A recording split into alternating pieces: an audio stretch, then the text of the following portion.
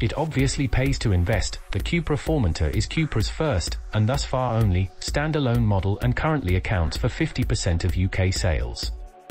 The bean counters at the Volkswagen Group should take note. We're testing it here in second rung V2 1.5 TSI spec and, yes, the beady-eyed among you will have spotted that the images aren't of the V2. Sadly, we couldn't get our test car photographed, but to me the V2 loses little of the VZ2's visual appeal. The Formentor is a decent looking thing, to the point where non-car friends were interested to know what it was when it was parked up outside my house.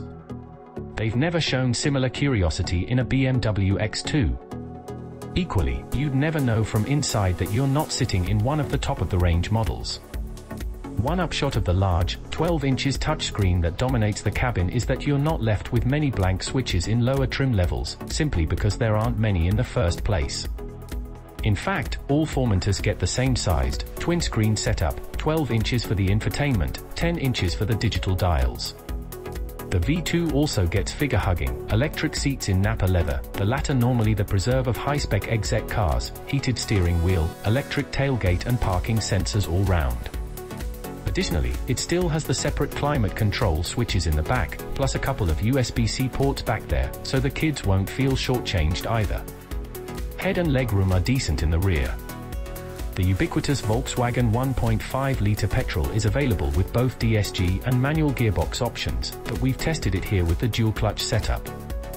With 148 brake horsepower and 184 pounds-feet, it'll hit 62 miles per hour in 8.9 seconds but because there's no mild hybrid technology, the emissions of 155 g kilometer aren't sector-defining. They are similar to a car like the X2 and a couple of tax brackets behind the Peugeot 2008. The Formentor is definitely at the more engaging end of compact SUVs, but the trade-off is that the ride is also at the firmer end of the spectrum.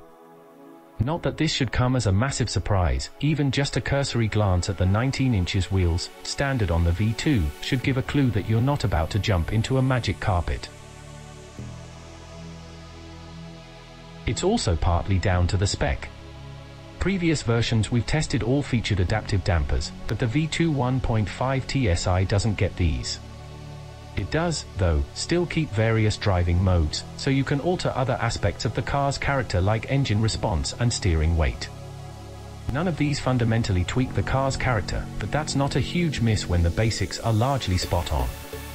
The engine spins away happily and is, most of the time, unobtrusive, it's only when you really rev it that the sound becomes coarse but you get very little performance gain by carpeting the accelerator so our suggestion is to leave it in the lower rev range. The throttle response in comfort isn't the sharpest, as we also found in the most powerful 306 brake horsepower version, but sport mode tweaks it to become more aggressive. As with most VW Group products, the steering is accurate enough, if lacking in ultimate levels of feel. The body roll is well controlled and you can have a reasonably rewarding drive across your favorite back road. It's no sports car, but there's a depth of driving involvement that's lacking from a lot of this class, Mazda CX-30 accepted. Arguably, this is the sweet spot of the Formentor range. The VZ1 and VZ2 trims don't add a huge amount of extra kit, other than a safety and driving pack for the latter, so the V2 makes the most financial sense. That is if you can make do without the most powerful engines and adaptive dampers, as the top spec, Golf R Source 306 brake horsepower lump is only available on VZ versions. This new Cupra is named after a remote beach on Mallorca, nestling on the northern outcrop of the Mediterranean island at the end of a snaking mountain pass that drops from the sprawl of Pollença. A few years back, I was enjoying a family holiday thereabouts when who did I bump into? None other than car editor-at-large Ben Barry. Small world etc. This time my surprise encounter is with an even closer family member, it's the Formentor's new plug-in kin. The e-hybrid downsizes our VZ2's 2.0-litre TSI for a smaller 1.4 paired with an 85 kilowatts electric motor with a choice of 201 brake horsepower or 242 brake horsepower system output. We're in the brawnier version. Charging the 13 kilowatt-hours lithium-ion battery every night means we manage 21 miles on silent e-propulsion before the petrol engine awakes, not matching the claimed 34-mile e-range. It seamlessly juggles both power sources. Acceleration feels brisker than the claimed 7.0 seconds 0 to 62 miles per hour and there's a surprising wriggle of torque steer under full throttle. Because 94% of UK journeys are shorter than 25 miles, the Formentor e-hybrid makes more sense than our thirsty VZ2. A new arrival has joined the Car Magazine long-term test fleet, and few members of the public have a clue what it is.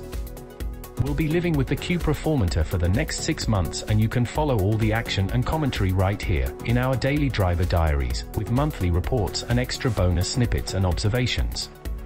In keeping with its sporty positioning, we're testing the Formentor in muscular 306 brake horsepower form.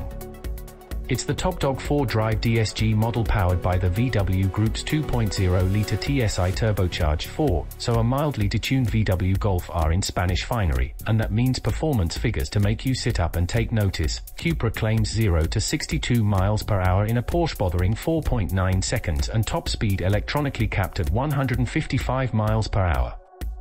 Other engine choices are 1.5 TSI petrols and a 1.4-litre PHEV that will be sampling in the weeks ahead. The badge might be daft, but the rest of the Formentor's package is more mature,